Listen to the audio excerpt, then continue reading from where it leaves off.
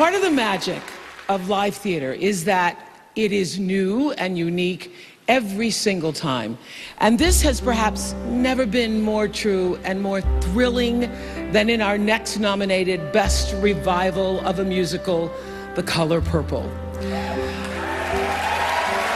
This story has been a part of my life for over 30 years. As a novel first, then a film, and of course the stage musical.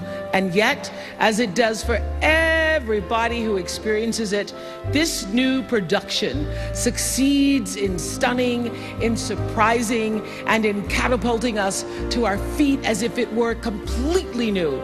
Please welcome Cynthia Erivo, Heather Headley, Danielle Brooks, and the cast of The Color Purple.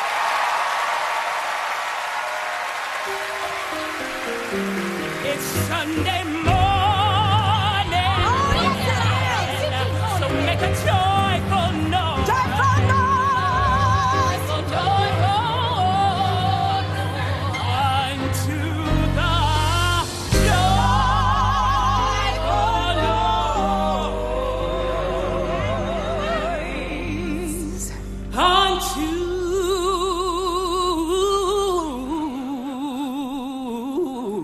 Yeah, amen.